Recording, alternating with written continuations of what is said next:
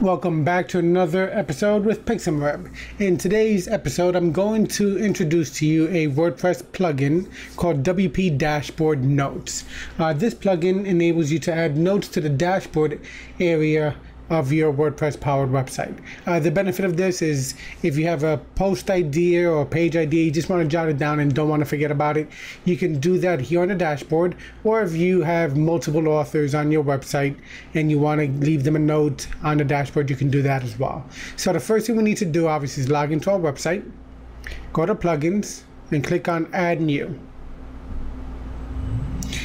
In the search plugins field, we're going to type in WP dash board notes.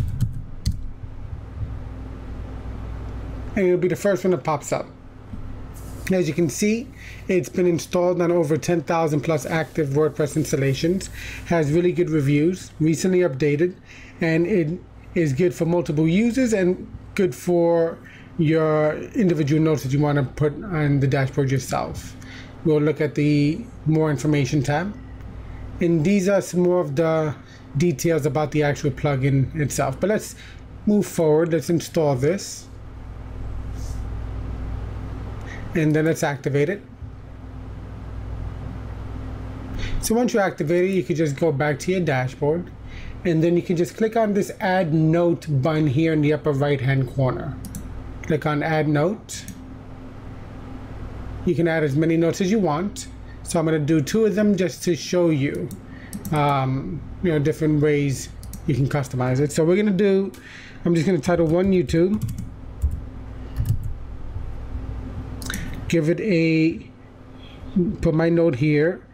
Uh, create a blog post about WP dashboard notes video on YouTube. So this is just a reminder to myself or to everyone. So I'm going to make this one just a reminder to myself. So what you can do here is right now it's set to visibility, visibility everyone. Toggle that. And it mean now it's just it's just visible just to you. Now you can color code it. You know, just to make it stand out, and then you get some other options here as well. And if you want, you could always just delete it that way. Now let's create another one here. And then I'm going to put a social media image size tutorial. All right, so let's say I want to do a blog post and a video on social media image sizes. I can add my note here. I am looking to create a toot about image sizes for social websites. So this one, let's say I want to let everybody see it, I do that there. And then let's make it a different color. There we go. All right. So now we have two notes created. And what's cool is you can drag it around.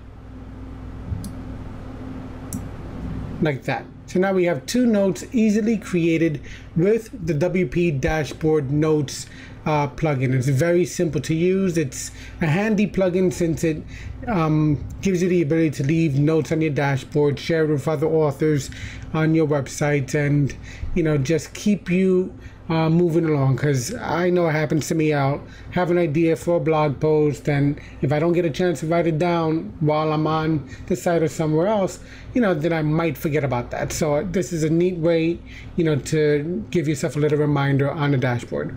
Hopefully, you found this episode uh, helpful. This plugin is uh, can be found on the WordPress uh, repository. You could just log into your website and just go to the add pl new plugins section and just look for it there WP dashboard notes.